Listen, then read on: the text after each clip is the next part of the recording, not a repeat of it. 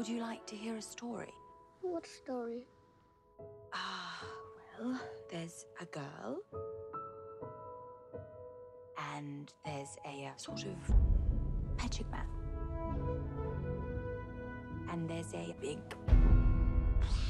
like a storm. Japan sweeps the South Pacific, heading towards Australia. Anyway, the story takes place in a, um.